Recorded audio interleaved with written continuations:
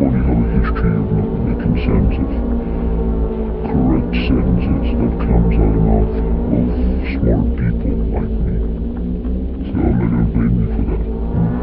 Go and eat. I hope you die from overeating your stupid useless son of a bitch.